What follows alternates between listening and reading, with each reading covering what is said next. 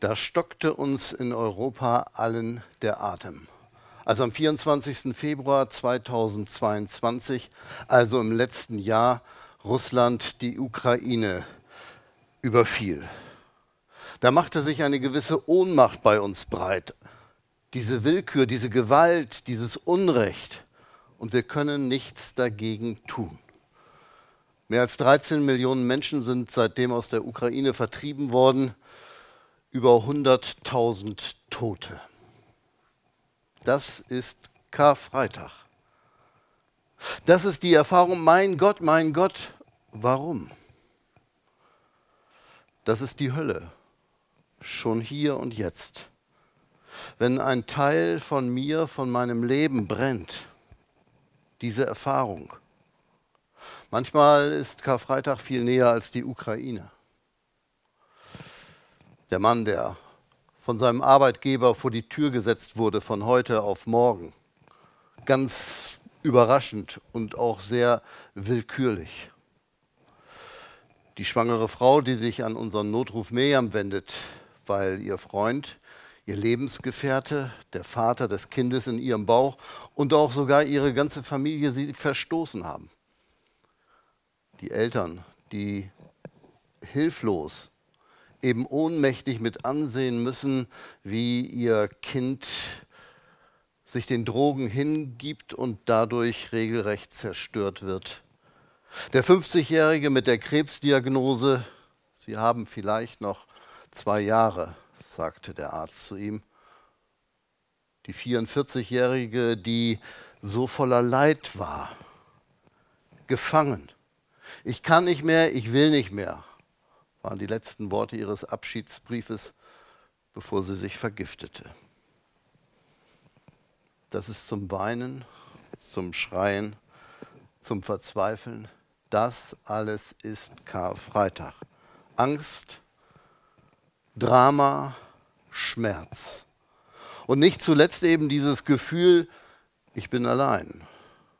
Ich bin auch von Gott allein gelassen. So hat Jesus das ja damals auch herausgeschrien am ersten Karfreitag als sie ihn ans Kreuz nagelten. Mein Gott, mein Gott, warum hast du mich verlassen? Karfreitag, wenn sich die Erschöpfung meiner bemächtigt, meines Denkens und Fühlens, meines Herzens und meiner Seele. Wenn ich nicht weiter weiß angesichts dessen, was geschieht, was, was ich vielleicht getan habe oder was andere mir getan haben, was ich nicht verhindern, was ich nicht ändern kann. Karfreitag ist nicht nur ein Tag, ist nicht ein Tag im Kalender, nur Karfreitag ist nicht bloß ein kirchliches Fest, nicht allein der Todestag von Jesus Christus. Karfreitag ist eine Erfahrung, eine Grunderfahrung unseres Lebens. Andere vergreifen sich an mir tun mir Unrecht, quälen mich oder das Schicksal spielt mir übel mit. Ein Unglück ereilt mich oder ich bin gescheitert, ich bin schuldig geworden, ich habe versagt. Dann scheint eben alles zu Ende zu sein. Das war damals so bei Jesus und das ist heute so bei uns ja vielleicht auch. Jesus starb und du und ich, wir sehen, wir haben keine Zukunft. So fühlten sich auch zwei Männer, die zu den engsten Freunden von Jesus gehörten. Sie waren dabei, als Jesus verspottet wurde. Aus sicherer Distanz haben sie das alles beobachtet. Sie waren dabei, als Jesus an das Kreuz genagelt wurde. Und sie dachten, das war es jetzt, so wie wir das ja auch oft denken. Und dann geschah etwas. Dann geschah das, was wir als Ostern feiern. Manches Ende ist ein Anfang. Dann, wenn auf Karfreitag Ostern folgt. Zwei Gedanken dazu. Der erste, einer hat das Ende überwunden. In der Heiligen Schrift heißt es von dieser Szene, die ich gerade erwähnte, siehe, zwei von ihnen, von den Jüngern von Jesus, von seinen Freunden, gingen an demselben Tage, es ist der Ostertag, gingen an demselben Tage in ein Dorf, das war von Jerusalem etwa zwei Wegstunden entfernt, dessen Name ist Emmaus. Und sie redeten miteinander von all diesen Geschichten, also von dem, was sie erlebt hatten, wahrscheinlich am meisten von ihrer Enttäuschung, von ihrem enttäuschten Vertrauen auch auf Gott. Und sie redeten miteinander von allen diesen Geschichten und es geschah. Es ereignete sich. Es passierte. Als sie so redeten und sich miteinander besprachen, da nahte sich Jesus selbst. Es ist Ostern. Da nahte sich Jesus selbst und ging mit ihnen, aber ihre Augen wurden gehalten, dass sie ihn nicht erkannten. Das ist seltsam und andererseits alles andere als selten. Die beiden haben manches mit Gott erlebt. Sie haben auch gehört vorher die Botschaft von Ostern. Andere hatten es ihnen schon gesagt. Er ist nicht im Grab geblieben. Jesus lebt. Er ist auferstanden. Er ist wahrhaftig auferstanden. Karfreitag hat nicht das letzte Wort. Aber diese Botschaft bleibt kraftlos für ihren Alltag. Sie sind frustriert. Sie sind enttäuscht.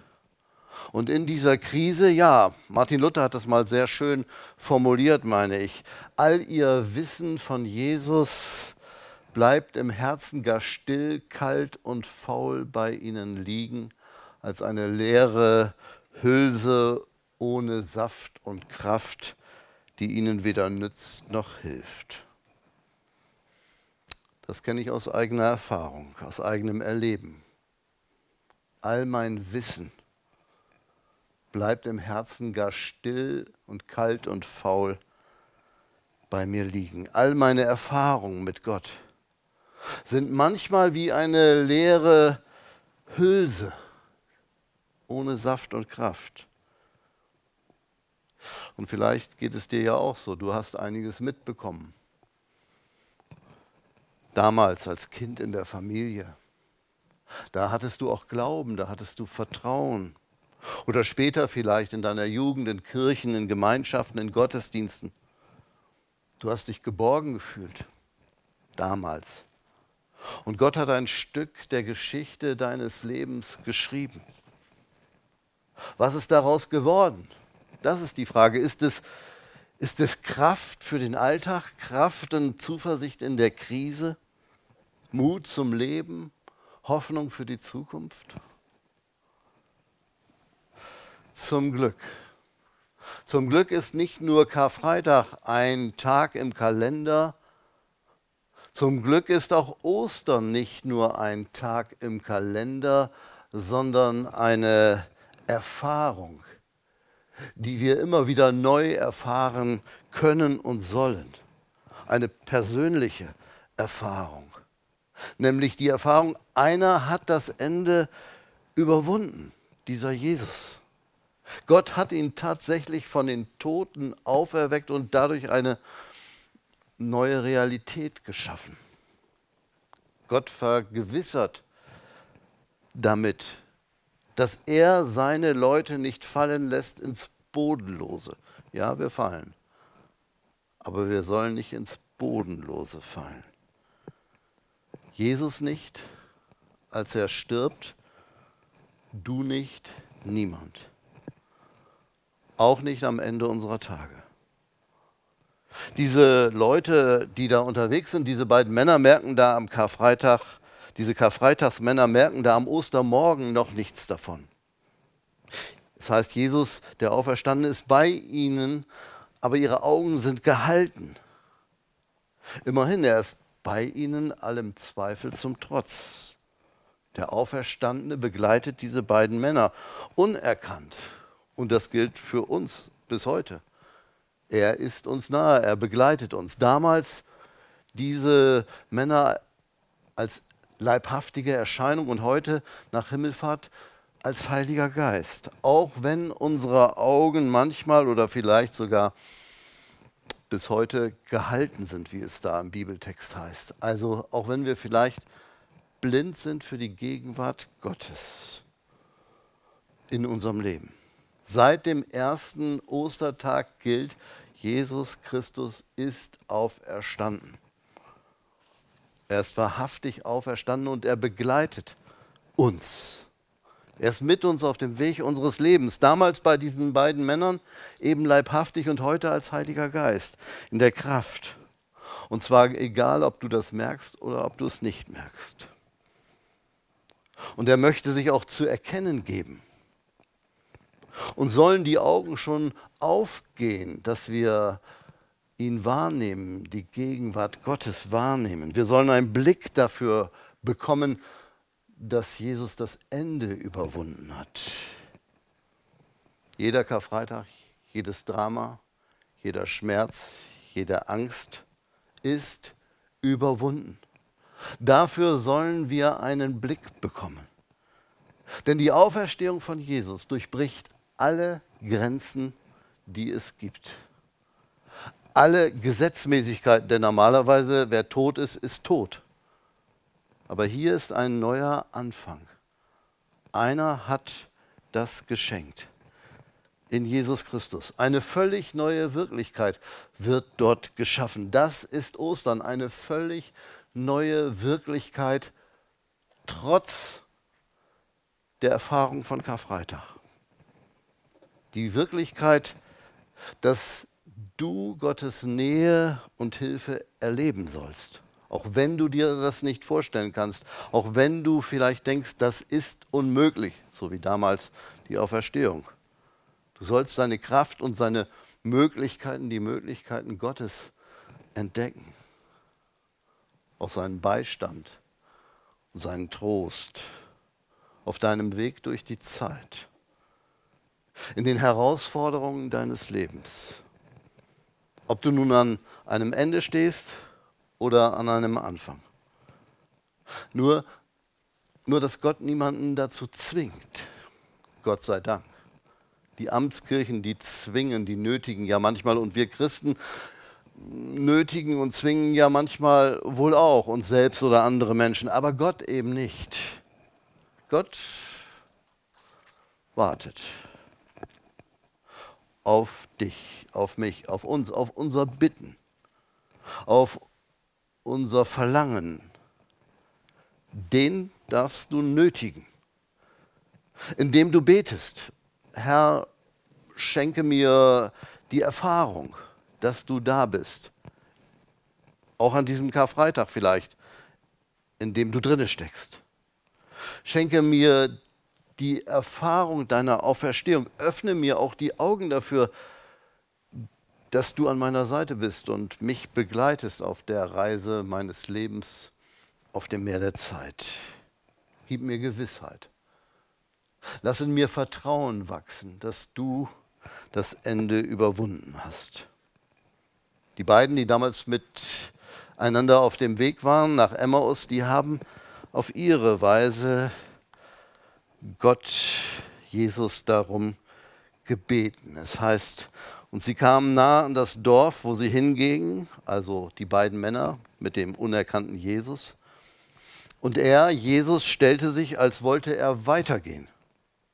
Und sie nötigten ihn. Wie gesagt, Gott dürfen wir nötigen. Und sie nötigten ihn und sprachen, bleibe bei uns. Und er ging hinein, bei ihnen zu bleiben. Da wurden ihre Augen geöffnet und sie erkannten ihn. Sie erkannten den Auferstandenen in ihrer Gegenwart. Eine Erfahrung, die das Leben dieser beiden Männer jetzt völlig auf den Kopf stellt. Das ist der zweite Gedanke. Dieser eine ermöglicht einen neuen Anfang. Einen neuen Anfang, der mitten in unserem Alltag, in unserem alten Leben beginnen kann. Und sie, die beiden, heißt es später, und sie standen auf zu derselben Stunde und kehrten zurück nach Jerusalem. Jerusalem? Das ist der Ort des Scheiterns, das ist der Ort des Todes, das ist der Ort der Niederlage, das ist da, wo Unrecht ist, wo Sterben ist, wo Grab ist. Jerusalem ist das Ende. Und genau dorthin kehren sie zurück.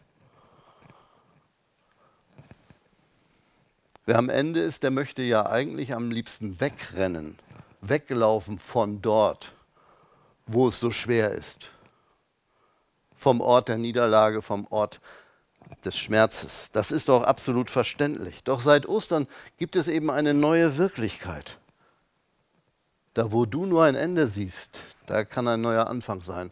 Wo du nur eine Wand wahrnehmen kannst, da kann Gott eine Tür öffnen und auf diese Weise die Geschichte deines Lebens weiterschreiben und zwar gut schreiben. Wo du und ich, wo wir an Grenzen stößen, stoßen, da ist Gott noch lange nicht am Ende. Im Gegenteil. Manchmal knüpft er an unsere Grenzen an, um so einen neuen Anfang zu ermöglichen. So wie hier, sie kehren zurück. Sie laufen nicht mehr fort, Sie sind bereit, in Jerusalem die Herausforderungen anzunehmen, die ihnen dort vor die Füße gelegt sind. Und das können wir auch. Du kannst deine Herausforderungen anpacken. Du kannst deinen Schicksalsschlag anpacken. Du kannst für deine Schuld Verantwortung übernehmen. Du musst nicht weglaufen. Du kannst auch durch dein Leiden hindurch oder was immer es ist. Du kannst dein Leben neu gestalten, jedem Karfreitag zum Trotz. Die Ohnmacht, das Drama, die Tränen, der Schmerz, die Hölle, die Niederlagen, sie haben nicht mehr das letzte Wort. Denn der Herr ist auferstanden. Er ist wahrhaftig auferstanden und dadurch gibt es keine Grenzen mehr für Gott, bei Gott. Christen erleben Karfreitag darum immer schon vor dem Horizont von Ostern. Ja, wir erleben Karfreitag, aber vor dem Horizont von Ostern. Dass das nicht das Ende ist. Dass ein Anfang möglich ist, der manchmal ganz anders aussieht, als ich es mir gedacht habe die Hand Gottes, diese Hand ist immer nach dir ausgestreckt. Und du brauchst dich nur festhalten zu lassen. Brauchst sie nur zu ergreifen und dann dich festhalten zu lassen. Das ist unsere Chance. Seit Ostern ist klar, dass jener erste Karfreitag auch zutiefst sinnvoll war. Denn Jesus stirbt da für uns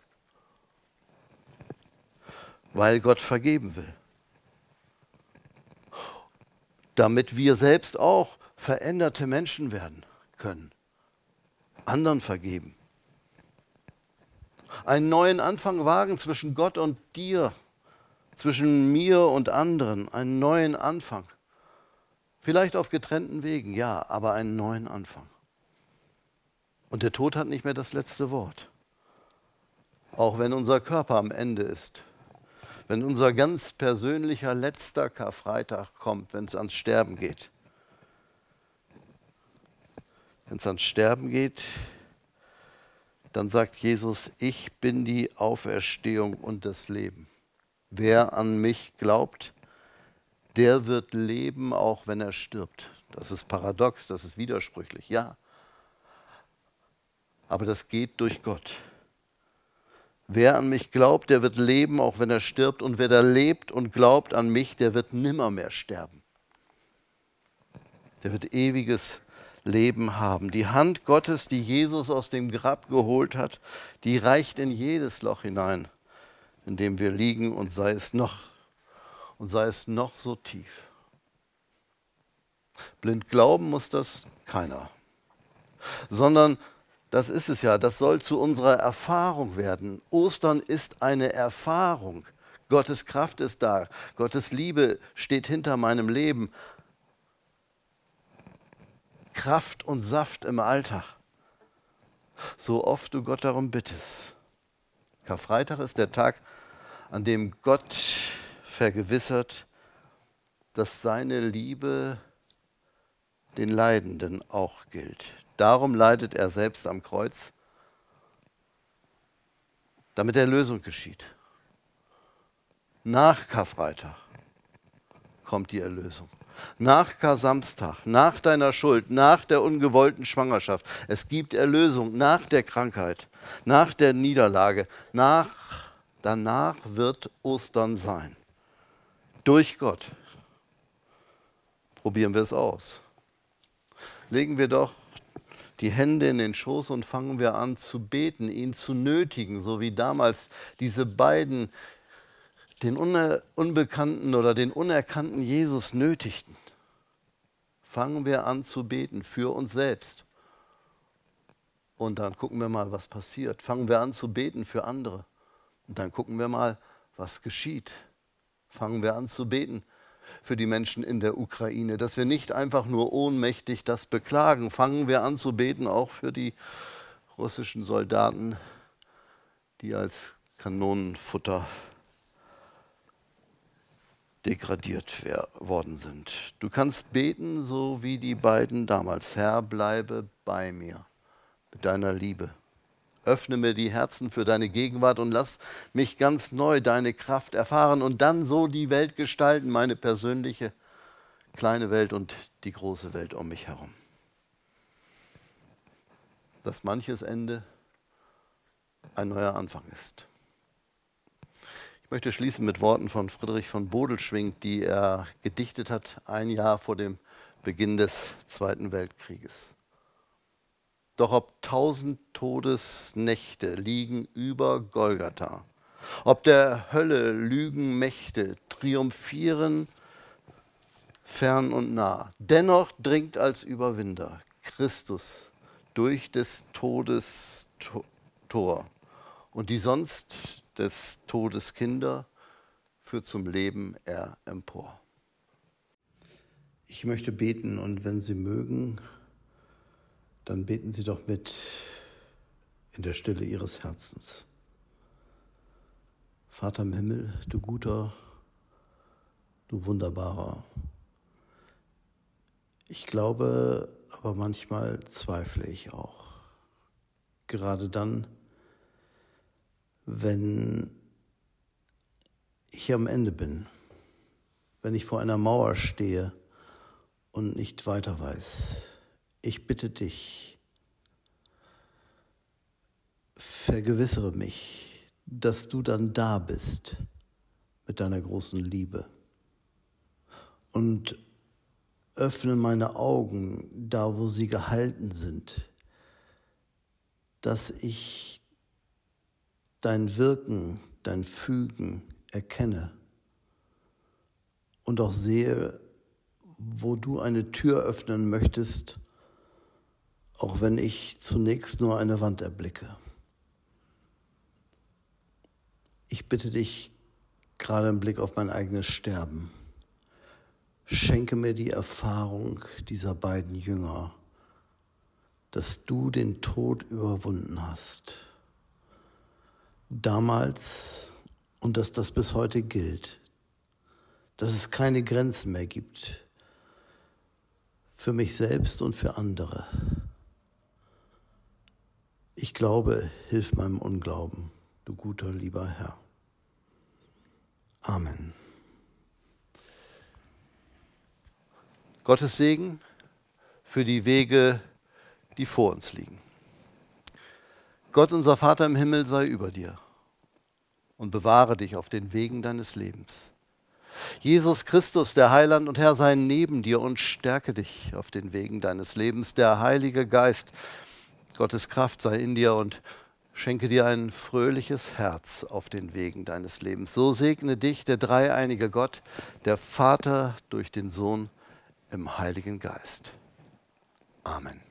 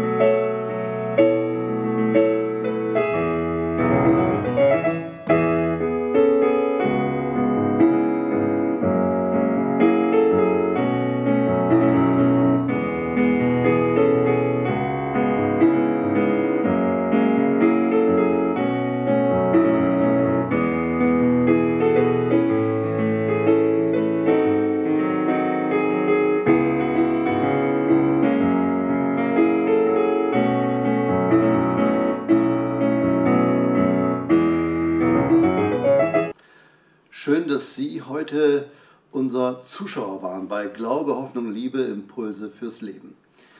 Wir sind eine Gemeinschaft von Menschen, die an unterschiedlichen Orten in Deutschland oder in der Welt leben.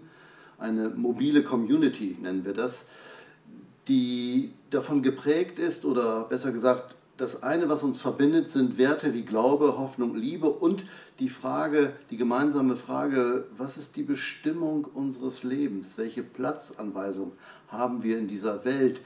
Wie hat der, der uns in diese Welt gestellt hat, Gott beispielsweise, sich das eigentlich gedacht mit uns?